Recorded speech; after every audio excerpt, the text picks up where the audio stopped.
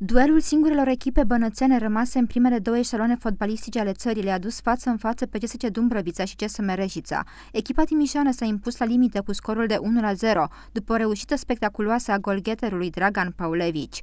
În urma acestui rezultat, CSC Dumbrăvița a acumulat 26 de puncte, detașându-se la 12 de Unirea Dej, care a stat în această rundă și mai are prin urmare 5 jocuri față de 4 ale timișenilor. O execuție senzațională și vreau să felicit pe pe jucătorul gazdelor, pentru că astfel de execuții vezi mai rar.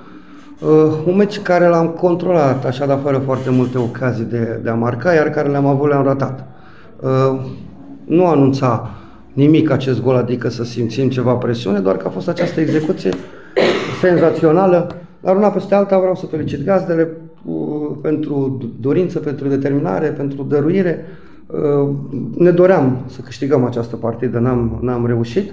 Uh, au avut șansă jucătorii care au jucat mai puțin și minute pe, pe, pe teren, dar uh, păcat că plecăm fără punct sau puncte cu, din cauza acestei execuții sau datorită pentru gaz de acestei execuții.